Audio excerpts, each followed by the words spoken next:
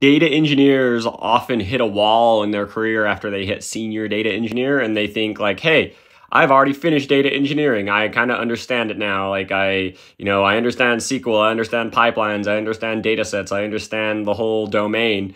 And a lot of times in that case, those cases, those data engineers kind of get bored and they're like, well, how do I grow my career from here? How do I keep gaining technical skills? Like where to go from here? Uh, I definitely noticed that I hit that wall uh, in my career around like 2018, 2019. And what I decided to do was just switch, right? I switched to doing backend engineering so then I could get better at like REST APIs and scalability and really working like with like online systems and stuff like that.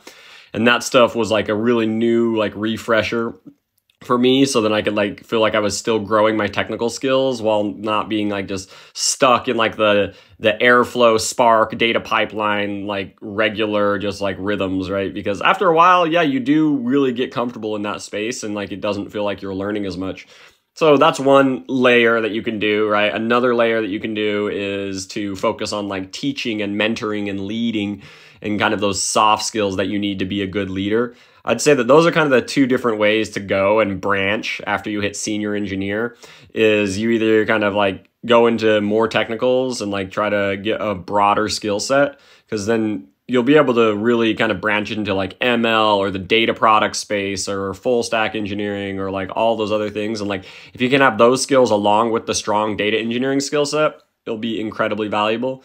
Uh, the other way to go is like the leadership way, and you really can do both, right? Where you can like learn leadership and learn new technical skills. And if you can do both, that's when it's really amazing because then that's how you become like CTO material, right? Because then you have the data engineering and the analytics to like be able to make good decisions. You also have the architecture and full stack engineering skills to build a really awesome product.